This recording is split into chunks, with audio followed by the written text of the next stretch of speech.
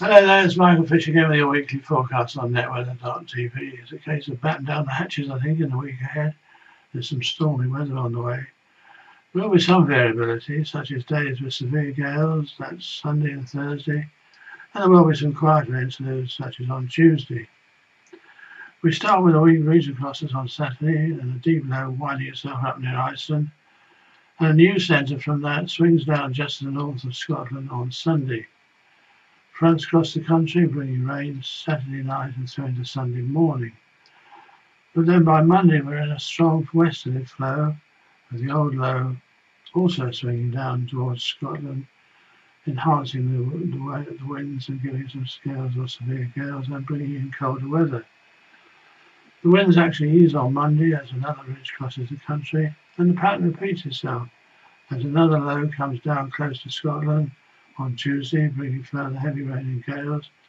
A trough follows on Wednesday, enhancing those showers, and then another trough on Thursday, which will join with a further low over Scotland. So again, it's a case of more rain and gales. Surprise, surprise, the pattern repeats itself next weekend. As for the temperature of the atmosphere, each of those uh, lows introduces pockets of warm air, which is indicated by the orange colour there, such as on Saturday. Colder, that's green, sweeps back there on Sunday.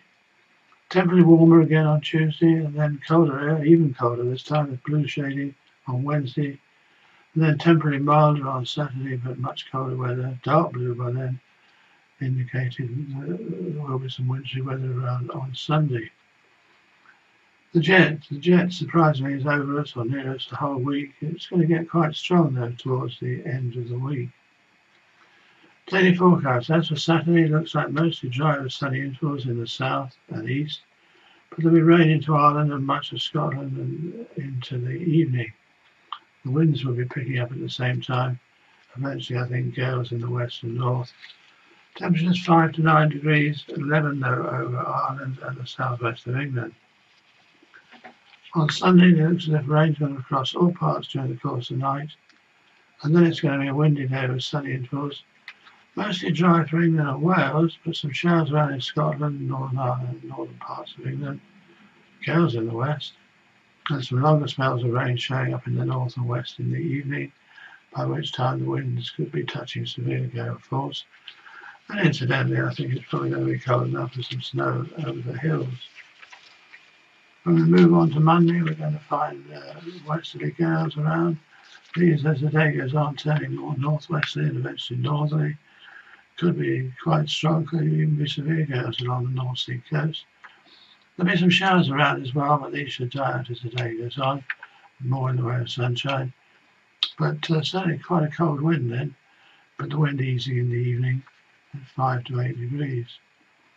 Tuesday, more rain and gales coming along, reaching Ireland and western parts by dawn, and then sweeping east across the whole country during the day, with clearer weather following on behind all but the southeast of England. And in that clearer weather, there will be one or two showers, and some of those showers could be wintry over the hills. It's still going to be windy. 5 to 7 over Scotland and Northern Ireland, quite mild for most of England and Wales to begin with, at least at 11 or 12 degrees.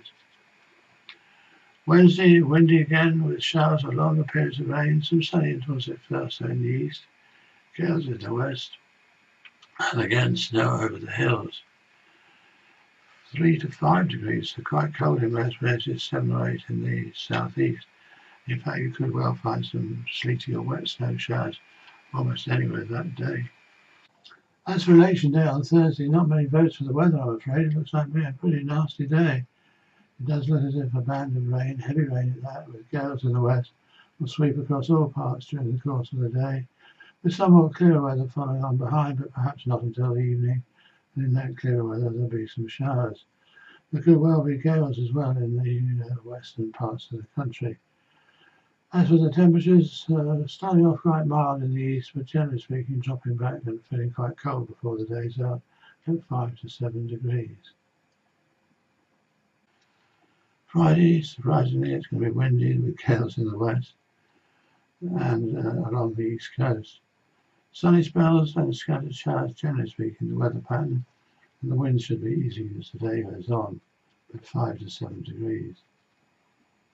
Towards Saturday, it's going to become very windy again, with some more gales returning, severe gales in the west and north, and some showers or longer outbreaks of rain, these chiefly in the north, probably mostly dry in the south. In fact, it's going to be cold enough for, I think, some quite nasty falls of snow over the Scottish mountains. 11 to 12 degrees in England and Wales, 3 or 4 Scotland and Northern Ireland, and a very similar day for uh, Sunday with some further heavy falls of snow over the Scottish mountains. Well, there we go then. Not a very nice week, I'm afraid. Some nasty stormy weather. There should be some, could be some hazards to travel and various other things. Could be some flash floods too. There should be some really heavy rain around. And it looks as if that could well continue even after next weekend, but that's sticking the neck out. And of course, you'll be asking me soon what's where it's going to be White Christmas. And the answer is, I have the faintest idea. Anyway, that's all from me. Join me again next week. Have a nice weekend. Bye for now.